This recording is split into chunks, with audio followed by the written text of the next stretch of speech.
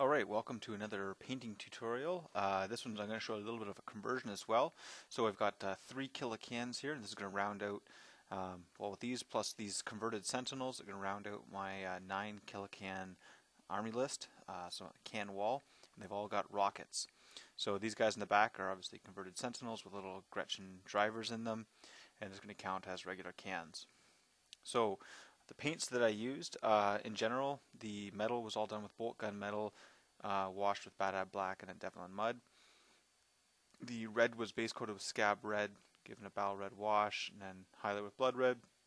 Some of the orange was uh, base coated with uh, the Solar Orange, highlighted with yellow, and given a Baal Red wash just to bring it down a little. The blue on the uh, Death Skull can uh, Sentinels, I guess, uh, was done with Mordian blue, and then it was given a black wash, uh, sort of the whole thing, and an enchanted blue highlight, a bit of Space Wolf gray edge highlights. The uh, Goblin drivers, sorry, Goblin Gretchin drivers were given a grace, uh, Gretchin green and base coat, and then some Thraka green. I didn't do a lot of detail on them, because you can't really see them, and I was in a rush to get these guys done. Um, some bleached bone on some of the horns, and uh, stone was the base color for the white-ish uh, looking things on the uh, Death Skull ones. So here's uh, how I all started out. Uh, so I've got everything base coated black. Um, I did the ba bases uh, ahead of time, so I had to just paint those. Wouldn't have to worry about basing uh, that later and getting paint and stuff on anything. So uh, first thing I did was I went over everything with a heavy dry brush of um, bolt gun metal and uh, so covered everything up as much as I could just to kind of give it a, a, base and then I'm going to color the other colors uh, later. I haven't really decided what I'm going to do. Uh, then I went around with a Reaper Rust Brown and I kind of stippled everything a little bit, getting uh, rust kind of here, there, and everywhere. Uh, so just dulling up the the silver bits. And uh, here's my whole pile of stuff. So I actually did a couple extra missile launchers. That one's like a, I think it's a Havoc launcher from the uh, from Chaos Vehicles. That's going to be one of my rockets. Um, as well, I've got uh, the Hunter Killer missile I'm going to use for one. So because I had to make two more rockets for my other set of three Killacans. I only had one set of rockets there. Anyways, um, and there's a couple metal ones in there from uh, from the old Killacan sets or the rocket sets you can buy from GW Bits. So uh, now I'm base coating the red on there, so that's the scab red, kind of going on all the flat areas, and uh, actually that also has uh, Devlan Mud wash so what I did is I base coated the red, and then I gave everything a, a wash of Devlan Mud, and then it's also going to get a wash of Badab Black on the metal areas. And uh, so the Devlan Mud will act as a shade for the red, and it also works well on the, the black. There's that Hunter Killer missile. And uh, yeah, so just working over things fast. Uh, Blue is the base coat here, and uh, this is all going to get that same wash. So the blue will get the black wash as well um, but I'll kind of avoid the I'll avoid the uh, the blue with the Devlan mud, but the areas I'm going to leave for white, they'll get the Devlan mud. So I, each one of these I kind of picked a different set of uh, bits to paint blue, just so they'd look a little bit different.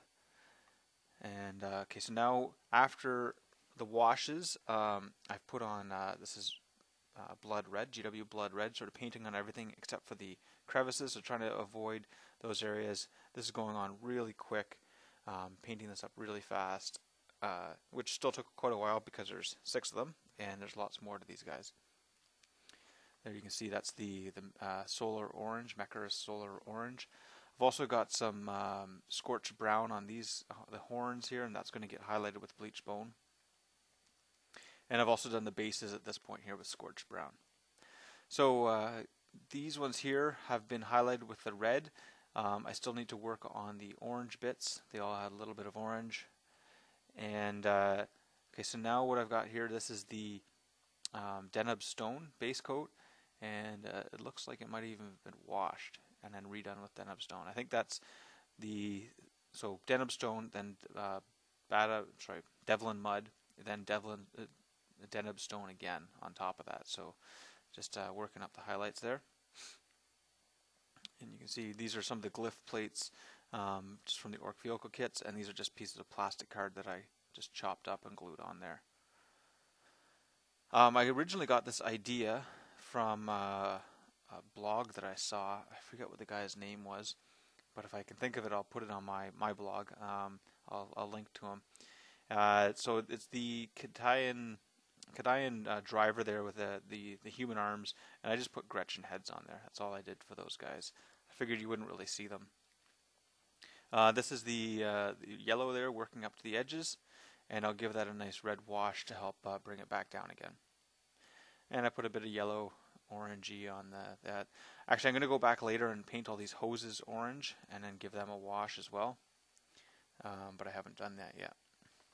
So here we are now, getting close. Um, for these these ones here, anyways, the uh, the, the death skull ones are going to be done um, a little bit later.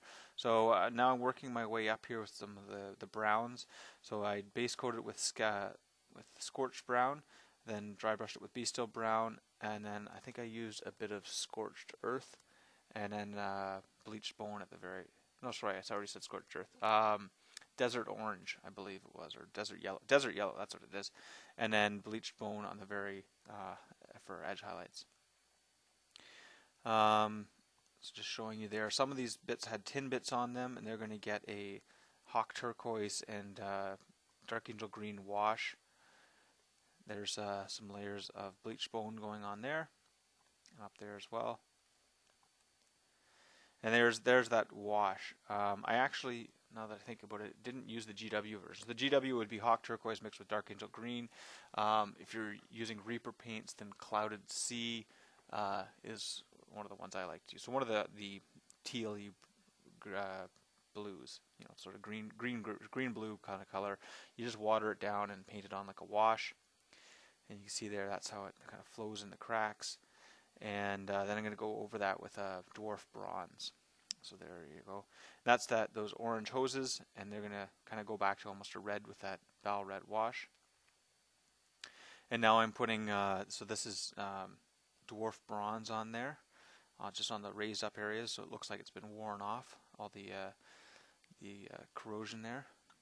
You can see, so that's that's how you end up with that kind of a look. It's just you know kind of a wash with this uh, blue green, and then you build up the highlights again just away from there. And uh, the dwarf bronze is used because it's not quite as bright as the gold, and it's you're kind of going for a bronze look anyways. So uh, now what I'm doing here is I'm kind of stippling slash dry brushing on some uh, chainmail. Um, bolt gun metal will work as well. Just to try to bring out the, the, the areas that would have been the rust would have been worn off. Oops, that slipped in there. Working on that as well. Okay, okay, back to the finish now. Um, so I, I, highlighted up these uh, these blue bits with uh, enchanted blue and then a bit of Space Wolf's gray, and uh, added a bit of uh, other colors. So some of the hoses got a bit of orange, but you can't really see that. So uh, going around the the circle here. So some of these bits. I should mention how I made these. That's just leftover pieces from um, Deffkoptas that I had chopped up to make war buggies and uh, so I magnetized the base in there. Um, so that's the, the part that holds the propeller, and then this kind of is the part of the hull that goes up to the propeller. And then I just attached on some of the extra Killacan arms to the end there. So you can see that's part of the Deffkopta there, and so is that. Other than that, there's not really a lot of uh, difference to these Sentinels from the stock ones. Um, these are rockets from uh, the, the metal, actually all three of these, so if you buy the upgrade kit or the uh, the bits pack from GW, that you end up with that one, that one, and one other that I've mounted on a truck that I haven't finished yet. And uh, then these bases, um, nothing too special there, just bits from the bits box. Now here's the the red Killacan. So these are just as from the kit, and I've magnetized these arms here. So this is the Hunter Killer missile. I think it's from the Leman Russ kit. This is from the can kit, and this is a metal one from the old cans. And uh, I also used a Hunter Killer missile from, uh, think it's the Rhino kit, or maybe it's a Razorback kit, I forget. And I also used one the, uh, the missile launcher from the uh, Chaos kits. So now I've got uh, nine cans all done. Looks like you got a conga line going there. And uh, so there's the six that I did in this uh, set here. So I did those all in one go. Um, by doing the metal all as one kind of big batch, it made things go quite fast. And uh, there's all nine of my cans. So these ones here I've done previously, and you can see there's the the same missile launcher as that one. There's that Havoc launcher. I think it's Havoc. And there's the other Hunter Killer one. So there's my nine cans and uh, all ready to go with a big foot slogging army with lots of custom force fields. I'm actually working on a uh, kit bashed mech, big mech with a custom force field, and I'll be doing a tutorial of that later at some point. Uh, just check my blog for some work in progress pictures, um, and eventually there'll be a video showing how I did that as well as some painting. Hope you enjoyed this one, and uh, check my blog. It's like watching paintdry.blogspot.com. Uh, leave me a comment. Let me know what you'd like to see or if you have any questions or comments. See you next time.